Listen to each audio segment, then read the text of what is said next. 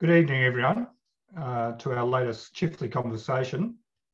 Um, once more, we're internet challenged tonight. Our internet excuse of the night is that three of us are coming from the Melbourne area um, and that the earthquake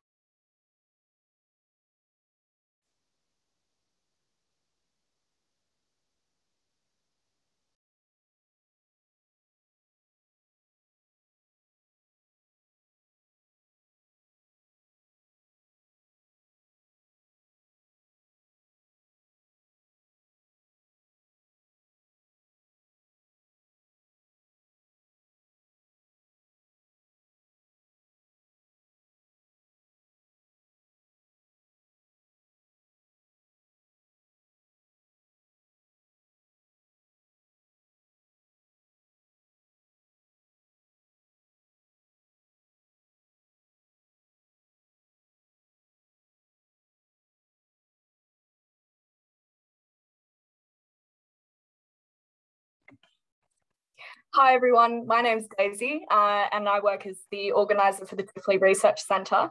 Uh, David's Wi-Fi is frequently a little haywire. He's in regional Victoria. And I think this evening, uh, the earthquake has really set things off. I know there was a blackout in the local 10 News panel. Uh, so as for now, I'm going to quickly jump in and uh, Rae, Angela and Jamila, if you want to turn your cameras on, uh, we can get started quickly until David can jump in again. Okay, just going to turn the sound off on my iPad and we will get started with introductions. Is that David coming back in? I think so. I think so. We'll give him a chance, will we? Yeah. we could just be a self-chairing panel.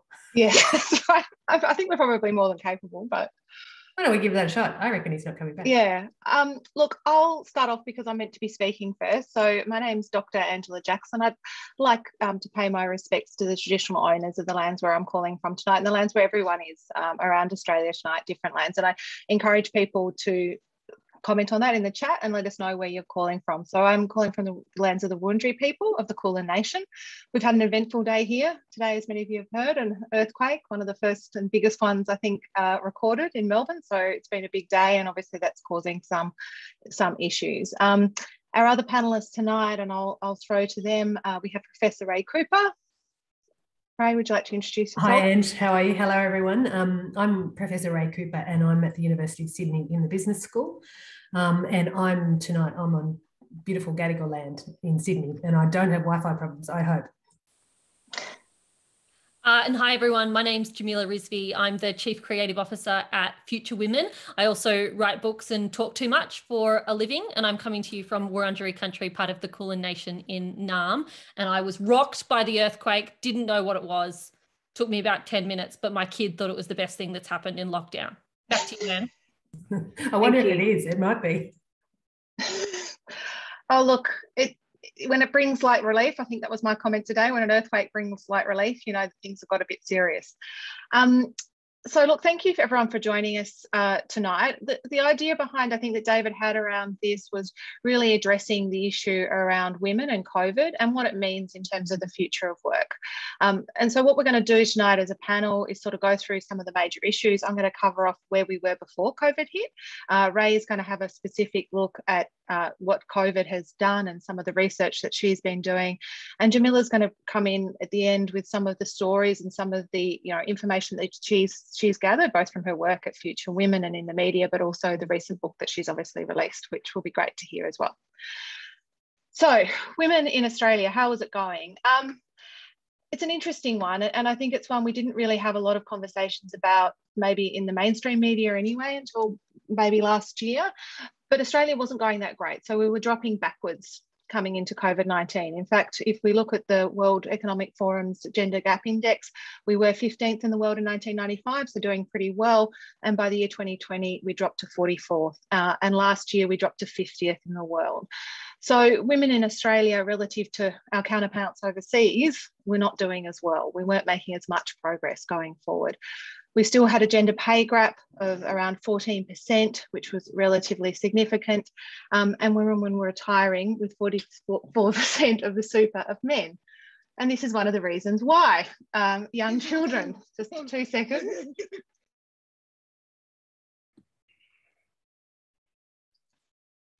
Young children interrupting women and their careers. Um, it's one of the bigger issues. It is one of the big issues. There's no doubt about that in terms of what drives um, drives the gap between men and women. But there are other things at play as well. So if we think about um, in terms of what is driving this gap and why it hasn't closed in Australia, there's a lot to do with discrimination still. So, you know, we know that women come from a base where we didn't even have the right to vote couldn't join parliament, uh, had to quit our jobs if we got married, all these fantastic things that really encourage women to do well. Um, often we're encouraged to go to university. Um, now, a lot of that discrimination and that structural discrimination has faded away, but a lot of it still remains. Uh, and so women will often still earn less for the same amount of work as men. Um, there are also issues around childbearing in Australia, where we do encourage this model of care where women are encouraged to take time out of the workforce to take a break. Uh, men are encouraged to be the primary earner, and we have a tax and welfare system and a political system that really supports that model. Uh, and what that does is it keeps women stuck in part time care. Um, and there are a number of other issues at play as well. One of the things I think that there had been a focus on really was around fixing women previously.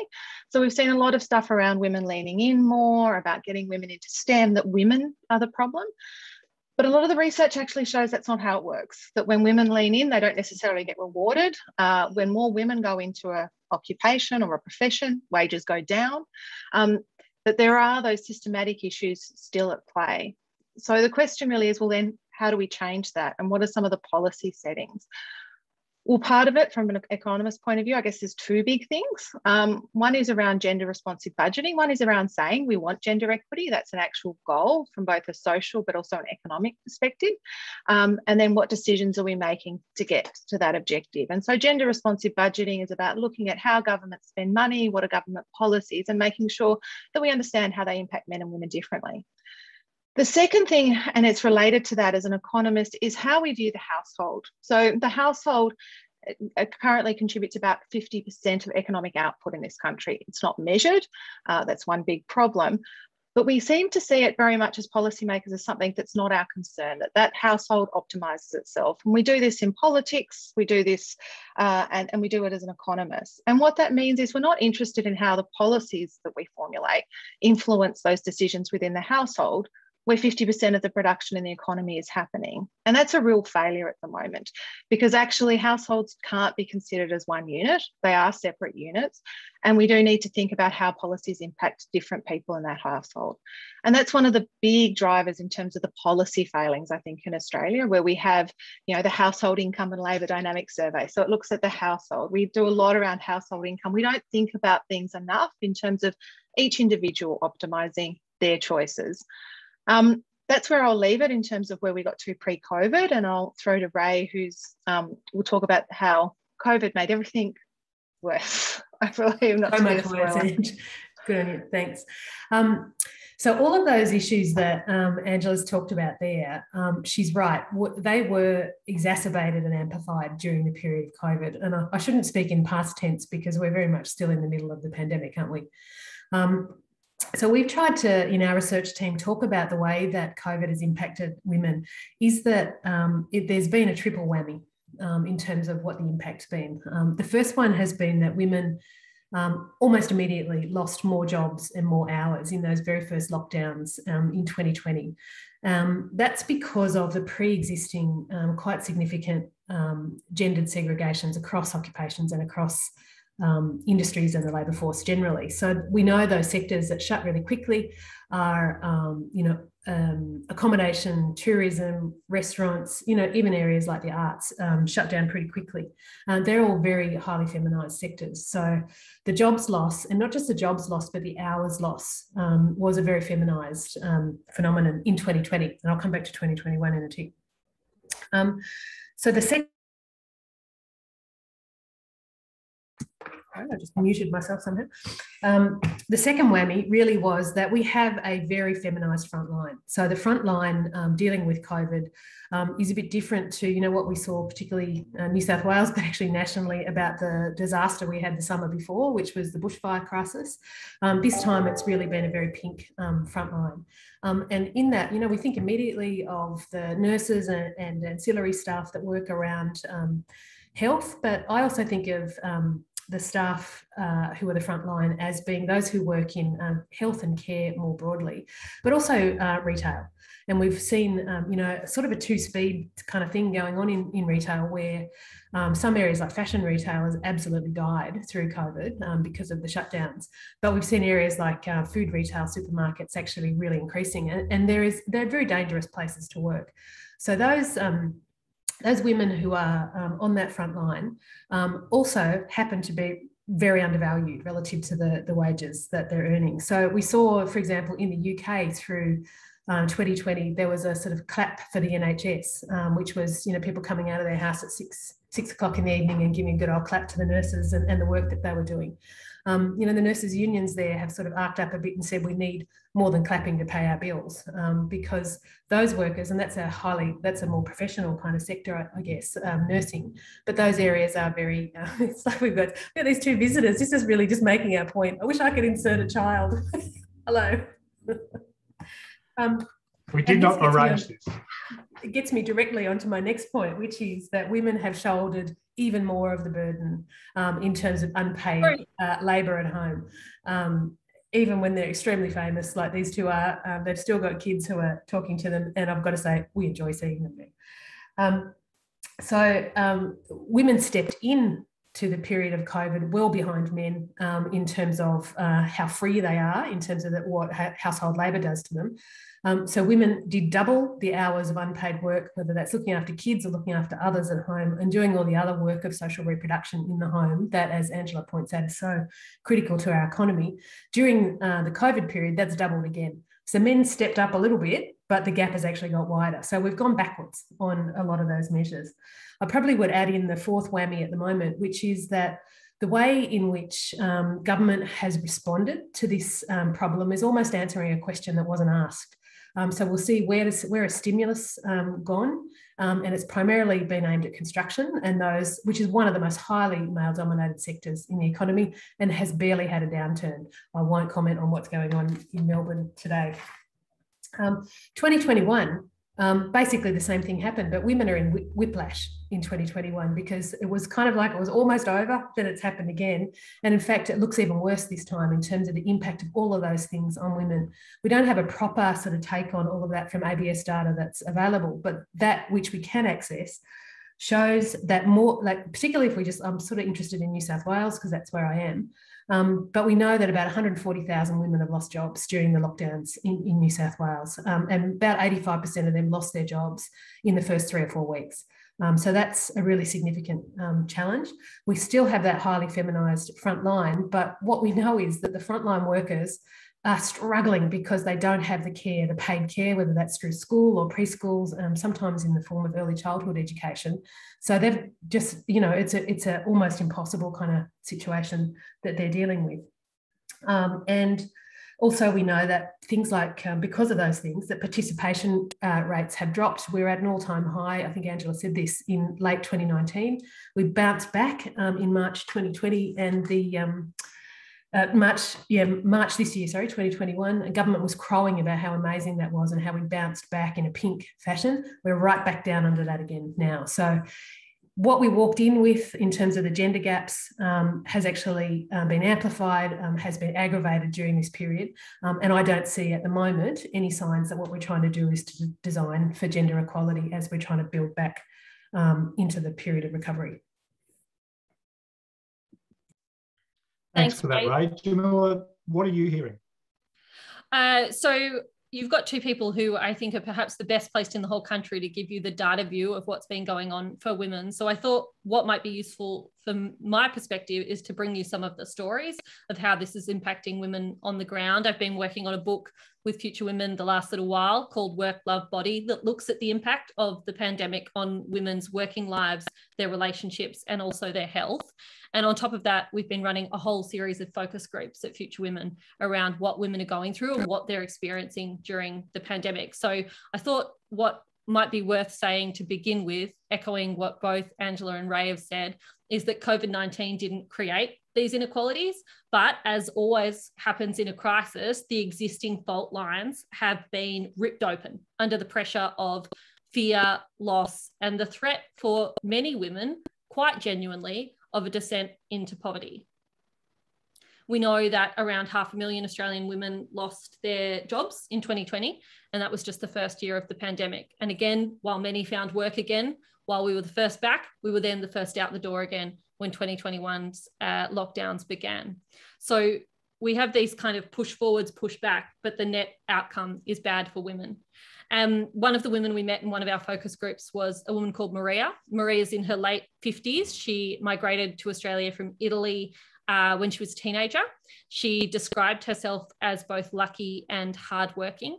She talks about the fact that when her father died, he left her enough money for a deposit on a small house in outer Melbourne. She has since then lived very carefully.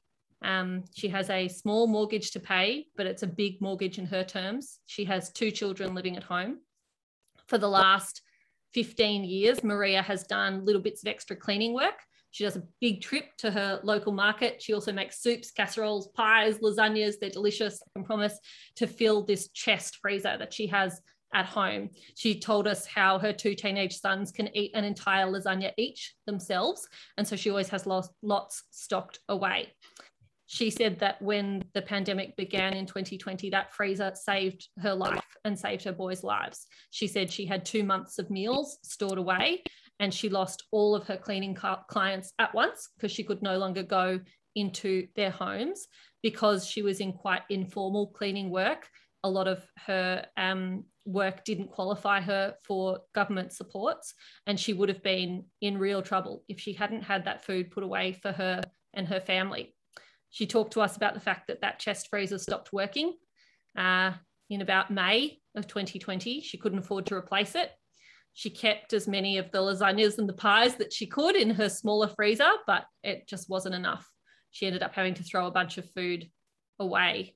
And for her, throwing away more than $300 worth of food was a huge impact. Um, Maria ended up having to sell the home. She and the boys now live in social housing and again, Maria repeated how lucky they were to be in that social housing because there are so many Australians who are on waiting lists wishing to be in the kind of situation that Maria is in. And yet life is pretty tough for her right now. We also met a woman called Jane.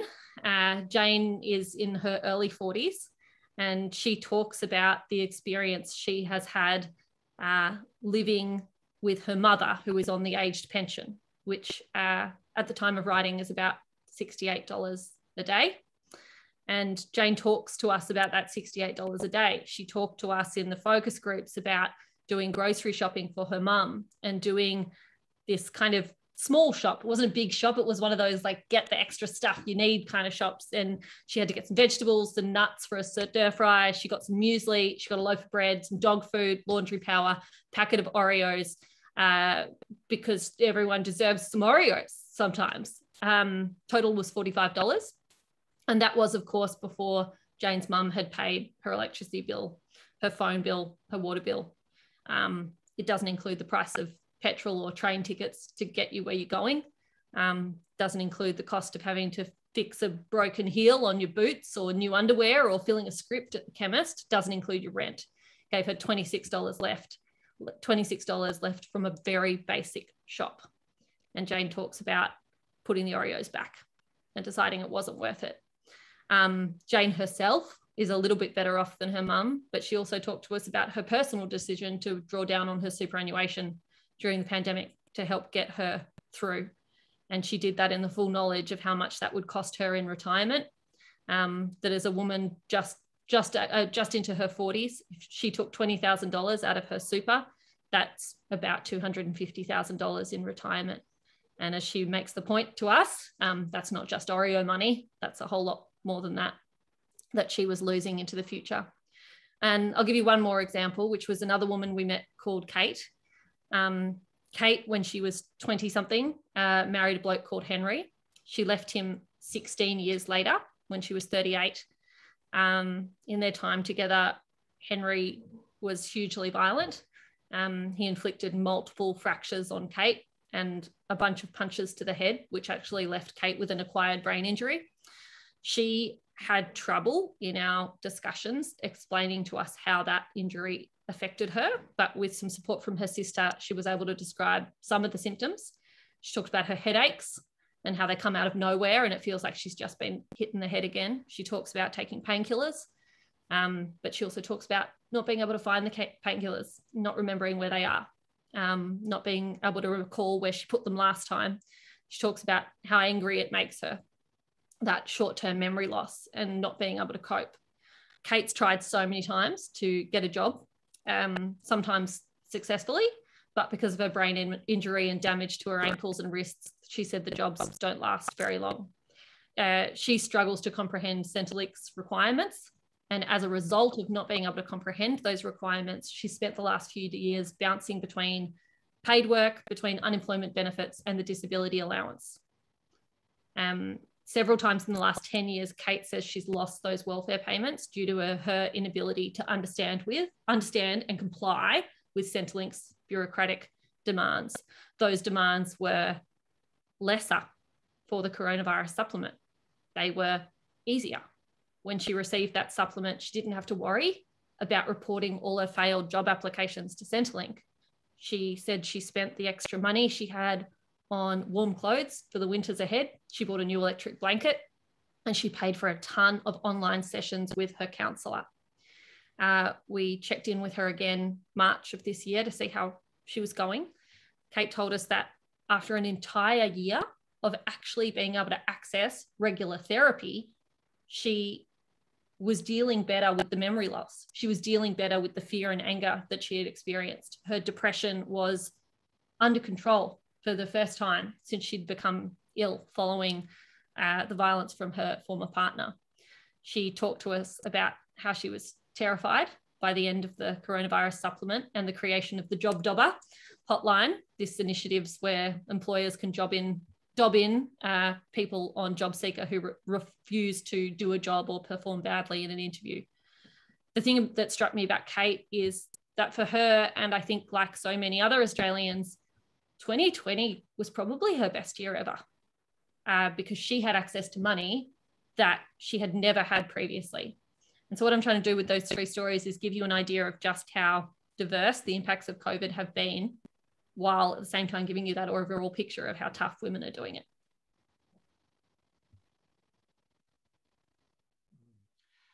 Thanks, Jamila. I mean, the other thing it illustrates to me is how much we seem to be dependent on anecdotes to lift the lid on some of these these issues. I mean, the longer run challenges that Angela introduced, and then what Rae's been describing in terms of the impact of COVID. And I mean, I, I think Rae was also alluding to the fact that it's been a two stage story so far, and it's been a little bit uncertain. We're seeing some trends, we're being able to draw some conclusions, but not entirely. So there we are, sort of back to anecdotes, and there seems this disproportionate impact on women being affected by being on the front line. And you know, perhaps another thing to draw out there is they're exposed to greater dangers being on the front line.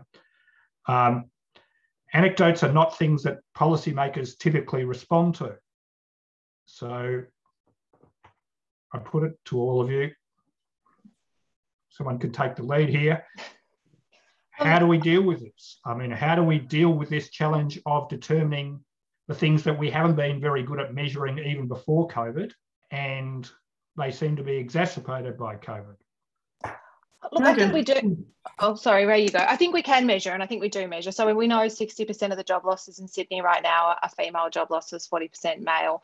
Um, we can see that it's young women predominantly as well that have really been impacted. So out of those job losses, you know, young people 19 to 24, about 15% of the labour market. They again have been, I think, around 40% of the job losses, and most of those have been young women.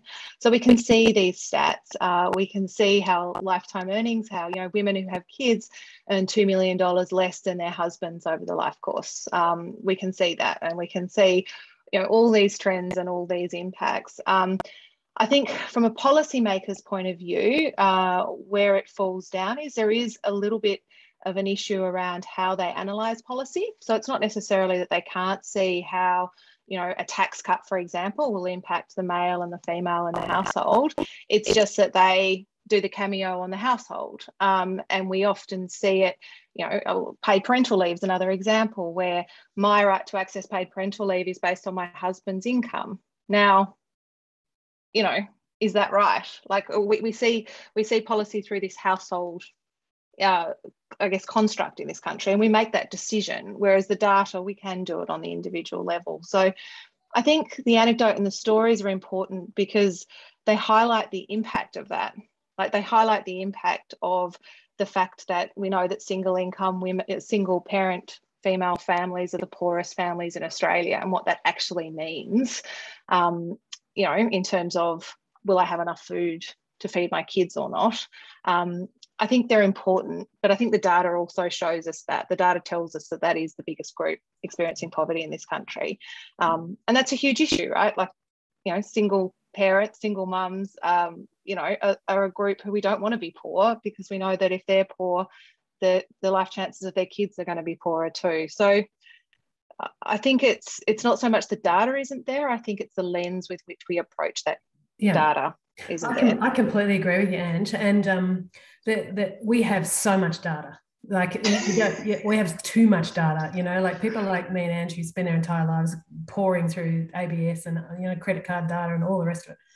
We, we, we know the story. We knew the story before. We have a highly segregated labour force. We have highly undervalued female labour force, despite the fact that we have the best educated prime age female labour force in the OECD. We have the data. The problem is, um, and look, I would also say, I don't think what what Jamila's talking about there is not anecdotes. What Jamila's doing there is telling us the stories of women's lives. Um, and I think in terms of both mm. Those things, so the broader you know, macro data, um, but also the stories of individual women's lives and what this means to them in their home, um, in their career, in, in their relationships, um, needs to be listened to. Um, and we need to stop um, assuming that uh, you know that the, the we, uh, how hard is it? We can't tell what the problem is. We know what the bloody problem is um, and we need to actually listen to women look at the data in a gender disaggregated way and try to find a solution to some of those really massive inequalities that are both across our labour force across our sectors across our, across our you know in, inside the uh, stratification of our organisations and in our homes. I'm not sure what I can add that um, Rae so, uh, haven't already said, but I will for a moment just say I think stories are powerful and I think stories are important. I think it's important that we bring stories to the table that are reflective of a larger issue and that are reflective of what the data tells us. But I do think they aid a conversation because I think people process information in different ways. Some prefer the data the data aspect, but others it's not going to hit home. The numbers aren't going to hit home until they hear the real stories. And we know often it is those individual stories that are the way we convince people uh, when we're talking face to face. And certainly when it comes to the media, we are always looking for a story because we know we can't go it on the data alone because we can't get people's attention. And I think when it comes to policy change, that requires political will and if we're going to get that political will, we have to be able to tell the stories as well.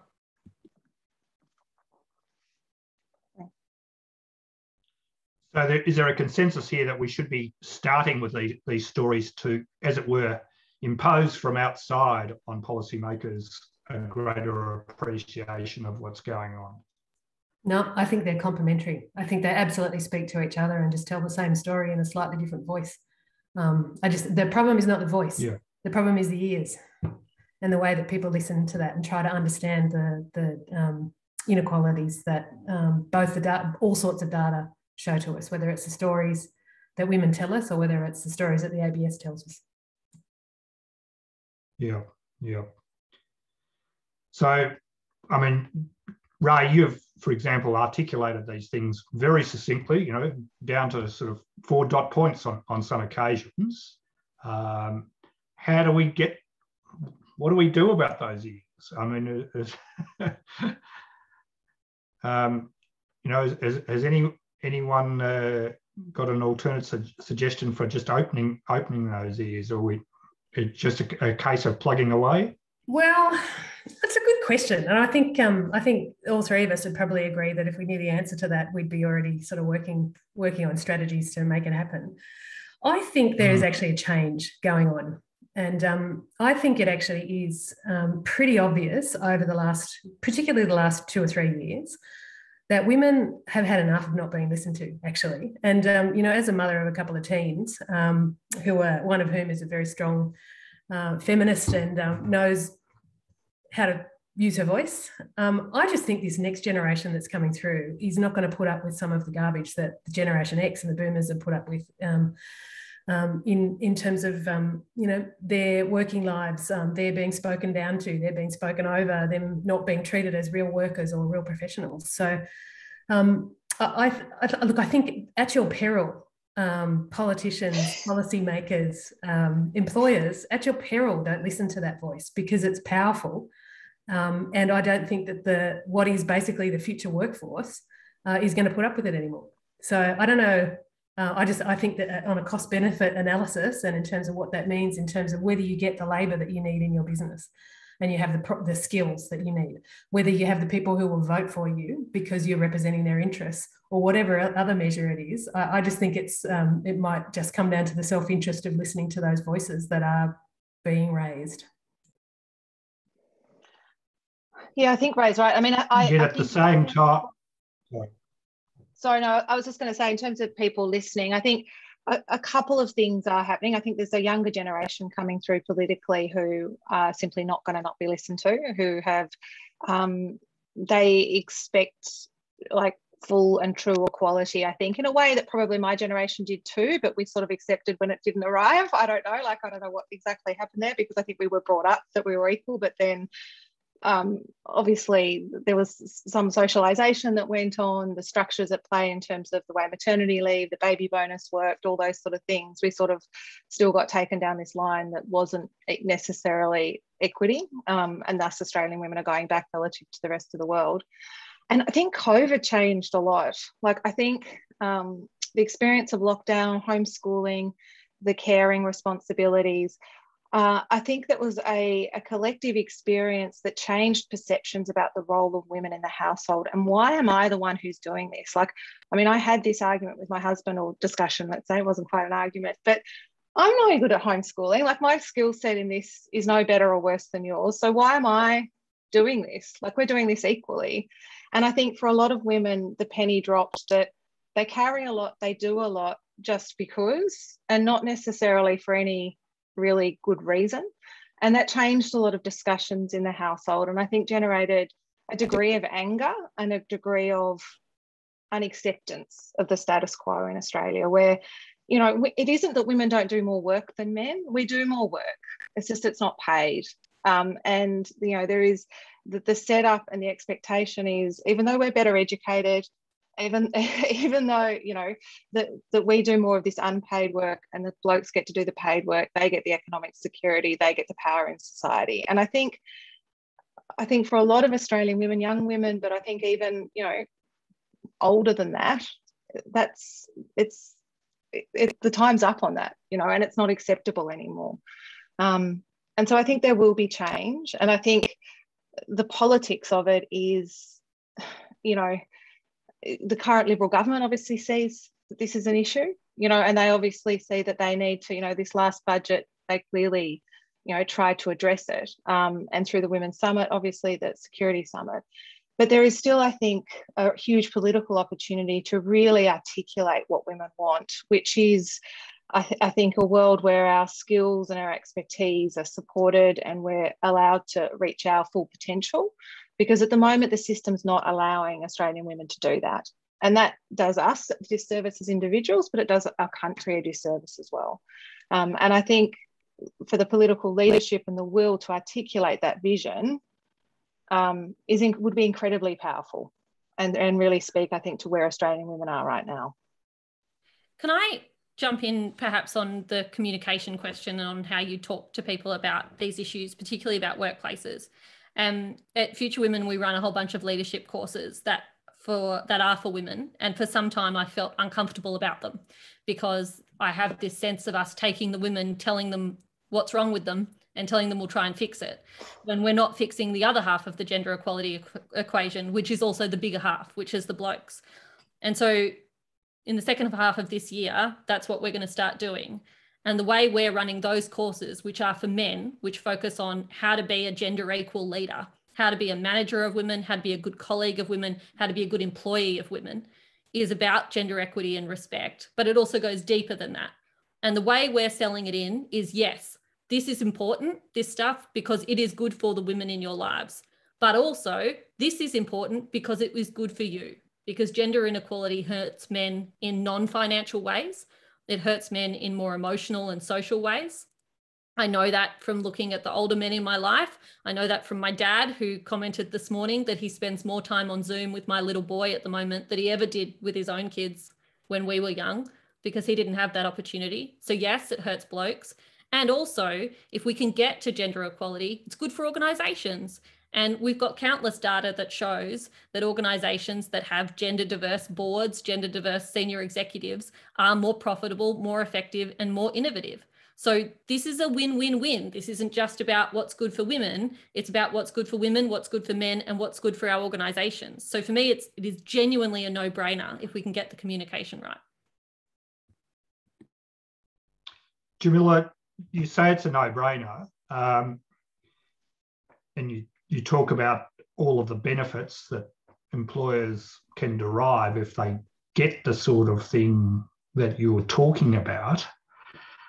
Yet at the same time, we've had a situation pre COVID, which has been emphasised during COVID, that emergent forms of work, casualisation, um, the patterns of work in areas like the caring sector, which have become large employers of women, but will be large employers of Australia, all Australians, male and female, and larger, loom larger in our future economy.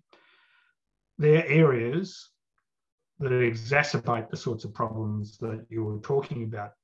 What's to say that these employers who might get the rhetoric at the moment during the period of COVID don't revert back? How do we ensure that people don't backslide and they think about emergent forms of work and indeed existing forms of work that have imposed some of these issues that we've been talking about? Well, I think when I said I, I felt the argument was convincing, I, I didn't mean that I'd convinced everyone yet.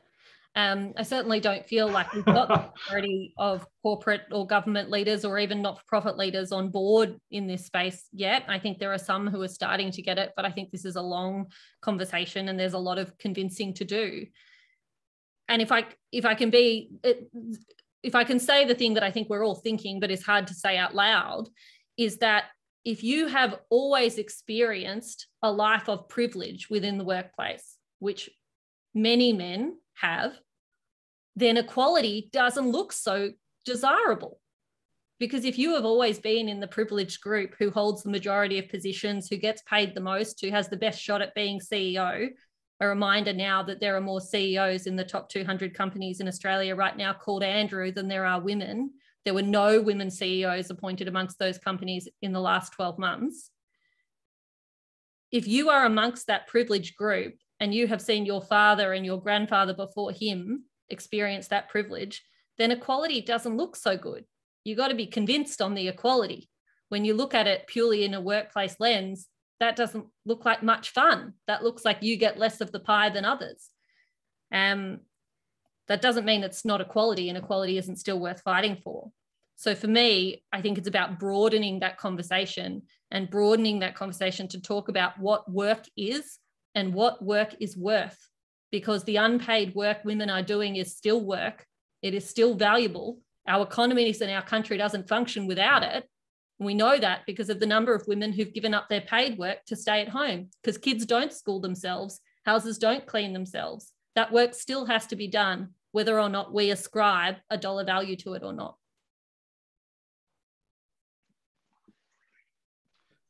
I'll ask the economists here. I mean, there's been a general conversation about what is full employment in an age like we live in now. But what about the question is of what is full-time employment and indeed how relevant is our old concept of full-time employment when we're dealing with issues like this? Should we be having a conversation about that? About what the future of work looks like and, and the flexibility around that. I mean, I, look, I think that, um, you know, women do take a lot of part time work, but they're also underemployed. Sorry, am I? No, yeah, I'm talking. Um, they're also underemployed. So a lot of women are filling those part-time roles at the moment, but I think there's a perception that isn't necessarily married with reality about how much women want to work. So women report wanting to work more hours um, compared to men. And, you know, in so underemployment of women is much higher than men. Um, but certainly, you know, flexibility, uh, designing work around those family responsibilities and, and accepting those as part of, you know, normal life of the society that, you know, those family responsibilities do need to be met is important. And COVID has, I think, hastened, you know, in some workplaces where it's possible. And if that's, you know, they, they are office-based jobs, they're not necessarily, um, you know, those low for, uh, sort of customer facing or aged care jobs. So it's a certain cohort of women that there is, I think, an opportunity there for greater equity. Um, but then there are other jobs that women are doing in our economy, which are those caring jobs, which are just, you know, systematically undervalued, right? I mean, the, the work of an aged care worker, um, the work of a childcare worker, um, we pay them, even though the skills associated with that, those jobs are, are very high. The work is tough. Um, you know, it is dangerous work, as as COVID nineteen has shown. They they get paid very very lowly, um, and so there are some of those systematic issues that also need to come into play in terms of how much we pay um, and how much we pay some of those professions that are that are gendered. But I think Rae, you're probably a better place to talk about um, some of these issues than me. Well, I think, yeah, thanks. And I totally agree with everything you just said, actually. But um, I think one other thing we've got to think about is full-time employment doesn't necessarily, it's it it's not necessarily what everyone wants, right? And I get the point that you know a lot of women are underemployed, but I think we've got to think about flex. What are we talking about when we talk about flexibility? Um, there's some really interesting questions in the chat about class, um, and I think I think we've got to grasp the nettle on that a bit. So I think a lot of the, and I'm guilty of it as well, a lot of the conversations we have about flexibility during COVID have been about knowledge workers. Um, it's about academics and economists and authors and, um, you know, um, the political classes kind of, kind of thing. It's not actually about the frontline workers. Um, and if we actually look at the frontline jobs, which is primarily occupied by women, they have lots of flexibility, but it's not good flex, right? It's really bad. They're bad jobs. Um, they are very socially and economically valuable. They keep us running, they keep us safe, but they're underpaid. Um, and they are in jobs where they are flexible in the way that they're oriented towards employer focused flexibility, where those workers don't have the capacity to control their schedules. So it's sort of the antithesis of being able to control um, your life if you can't control your working hours. And there's a, I don't know if people have seen it, there's a very interesting paper that, and a body of work that the SDA, the Shop Shoppies Union has done about that very issue and about those working class people who work in um, retail as their primary um, you know, income base have very little capacity to control the hours that they work, um, which means they have very little capacity to control their care, which means very little ability to also control what their wages are and you know guarantee that each week. So I think rather than looking at full time and part time, I think we need to start talking a bit more about decent work and good jobs. Um, and the best way we could get at that is to actually start talking about decent work and good jobs in highly feminised sectors. So in some of those areas that Angela talked about, so childcare, aged care um, in, re- in retail.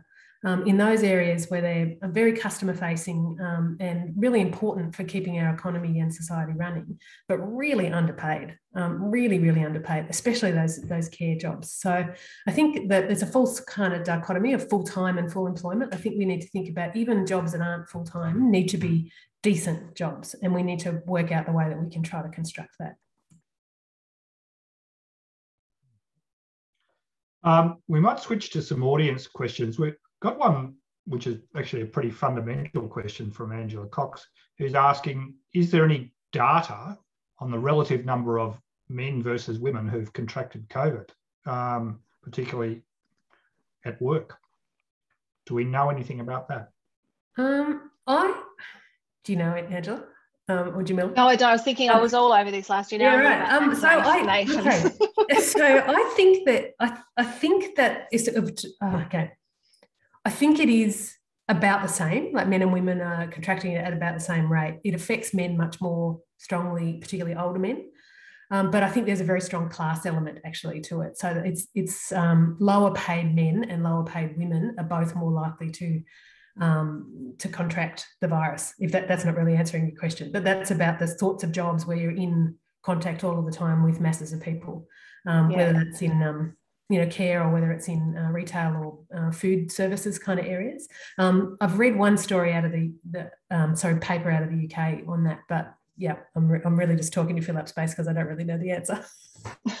yeah, I'm not sure about the men and women. I know that uh, there's definitely uh, the socioeconomic. So I think the mortality last year in Australia from COVID was 2.6 times higher in the lowest socioeconomic group. So the lowest 20% of people compared to the highest 20%. So that mm. it's a massive difference if you think about it. Um, and that's because those people in the lower incomes more likely to get it, but then also if they get it, more likely to die. So, um, you know, that that gradient of health is, you know, a huge issue in Australia, but that that, uh, that affects men and women. Yeah. yeah. Look, on the subject, Rae mentioned older men. Um, Paul Loring's asked a series of questions and made a series of comments, which I, I think go to some of the communications challenges we might have in conveying what you've been discussing and, and more to the point, getting some action on it um, but also go to a bit of an equity issue. Paul's saying he's a, he's an older male. Um, he was made redundant in his 50s. Um, his experience of the employment agencies were that they were predominantly staffed by younger females, and that at the time he didn't appreciate he was being, in effect, he thought permanently dumped on the scrap heap never to be properly employed again. To his mind, it's not just all about gender, it's also about the age of people of all genders who are affected by employment issues. Um, what do you what do you say to him, and more particularly because he, he makes the point that in having the sort of conversation we've been having tonight, it may well alienate people in his situation um, and make them feel even more excluded. And rather than generate a consensus about doing something about all of these problems, it actually might divide people and set them against each other. Um, and you can see what the political reaction might be to some of that. Some people might decide, well, um, you know, either people like Paul are being excessively overlooked, or we'll adopt a divide and conquer approach, which would help no one. So, yeah. how do we respond to what the sorts of sentiments I, that Paul is expressing? I think, you know, the, the sentiment is, you know, and I imagine everyone here tonight, we're, we're, trying to solve some of the big social problems in Australia. And we're doing that because we want, you know, every Australian to live a great life and we want our country to be the best it can be. Now, doing that is not about treating everyone the same, right? And going, okay, we're just going to throw everybody in the same pot and everyone's the same, everyone's problem's the same, same policies, doesn't matter. You need to look at you know what are the individual drivers? What's what's going on for different groups? What are the policy implications for that? How do how does a policy impact you know an older worker an older male worker who needs probably different supports at that stage of his career than say someone in their 20s no doubt about that.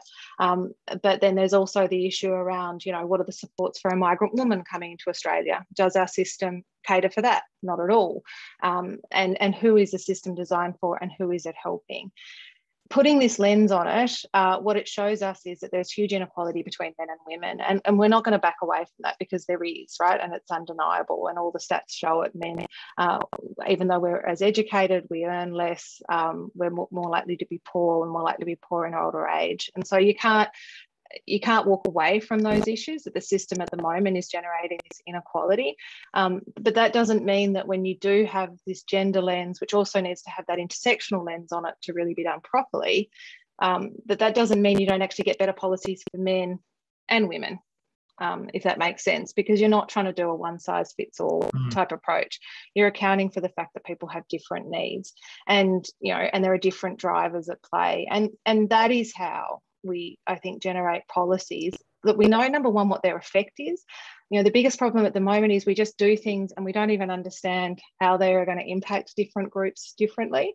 Um, so we can actually understand what the true effect of a policy is going to be. And then we can also ensure that everyone's getting, you know, the policies and the supports that they need to make the best contribution and have their best lives. And at the moment, we simply don't do that because of the way we design policy. So my answer, I guess, is this helps everybody. Like equity does help everyone. Um, having a gender lens does help everyone. Um, and, you know, I would say certainly I would hope that employment services would treat older workers differently to younger workers. And if it's not, well, they need to be reformed to do that. I totally agree with everything you just said. Jamila, are you Me too. We're in fierce. Is that sort of issue being discussed in your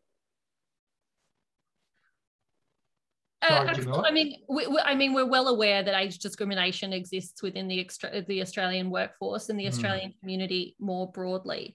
Um, I think the framing of tonight's discussion and the relative experts you've brought to the table means that we've got a gender focus this evening. I would hope that Chifley will, and they mm. probably have, run uh, similar um, discussions that have a focus on age discrimination or age questions around the workforce because it is a major question. You know, we talk again and again about whether or not the age pension uh, needs to be changed, whether or not that age needs to shift, and yet we don't see any real reform in that space. I don't think we speak honestly about the way we value older people in this country, and that's something we need to work at. The one thing I would I would say is I think we all need to be better at thinking about discrimination that occurs beyond what affects us personally. I think that's an important thing for all of us to do. And I count myself in that category. Um, I became disabled uh, two years ago and have had my eyes opened up to the discrimination and the difficulties of a life for someone with severe disabilities. And I'm kind of embarrassed that it wasn't something I had ever put a lot of work into before that, that it wasn't something I'd researched, that it wasn't something I'd taken the time to understand until it was about me. Um, I think that's a space in which I could have done better. So I think if there are men watching tonight who are listening to this discussion and thinking, but hey, what about my experience of X or my experience of Y? Sometimes it's worth taking a moment and saying, tonight we're talking about the experience of women, and I'm going to listen to some women.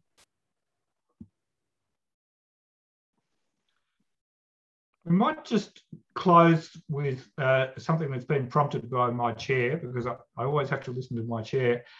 And Linda White uh, points to something that Lisa Darman said in the chat um, about policymakers not always wanting to spend the money to fix things like the wage problem for, for women. Um, because if it involves a government response, you know, that money's got to be found um, out of consolidated revenue. And if it involves an employer response, you know, you've got to do something about the wages versus profit share, and that's not always an easy thing to ask of employers.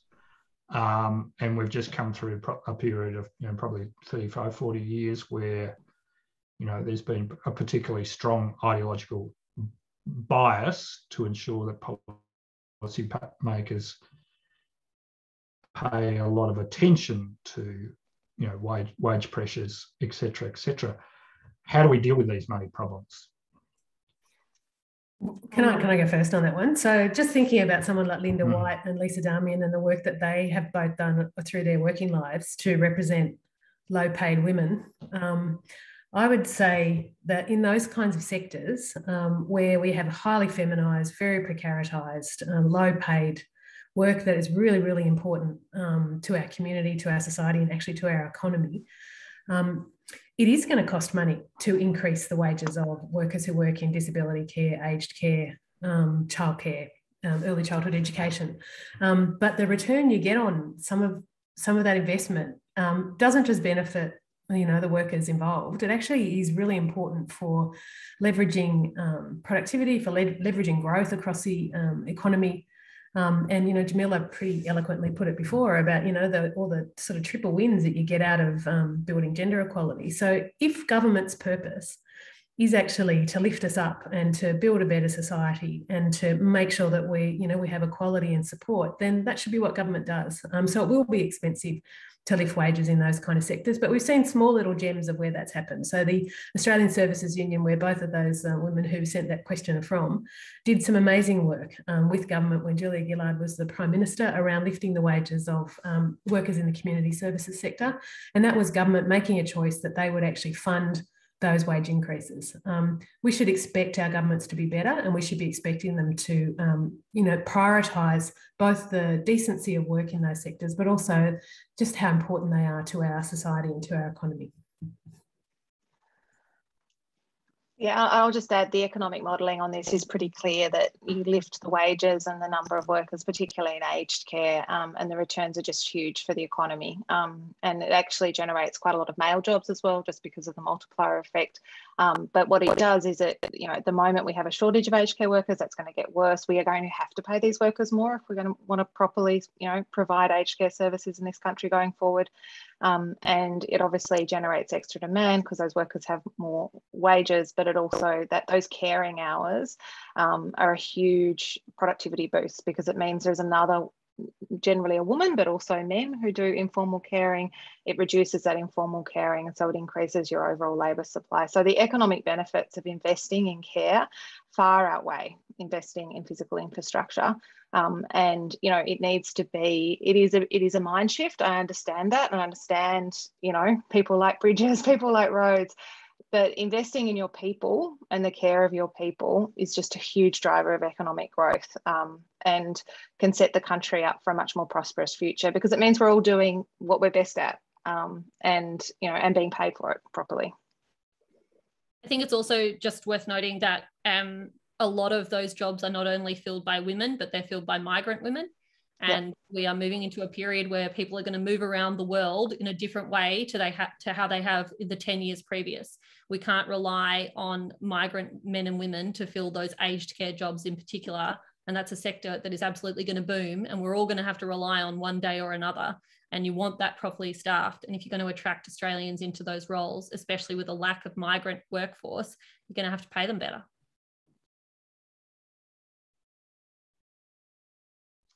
Well, on that note, um, I'd like to, to thank you all, Jamila, Angela, Rae. Um, thank everyone in the audience. My apologies for causing some technical snafus at the start of the conversation, but you managed to uh, get us through it, through it all. Um, and we've closed on the note of human capital, broadly speaking, um, which is a good segue into what we'll be doing next week. Next week, our guest will be uh, Tanya Plibersek, and we'll be talking about the higher education sector um, and where we go with it. And again, it'll be another conversation about what we inherited pre-COVID, what the impact of COVID has been, whether COVID has uh, COVID will be a, a catalyst for change for the good, or whether it's just once more revealed some fundamental problems that no one's really going to tackle. So there'll be some of the things that we'll be talking about with Tanya next week. Um, in the meantime, everyone stay safe, get vaccinated, and thank you very much. Bye.